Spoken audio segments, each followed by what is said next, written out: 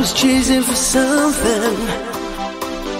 I thought it was really worth waiting for.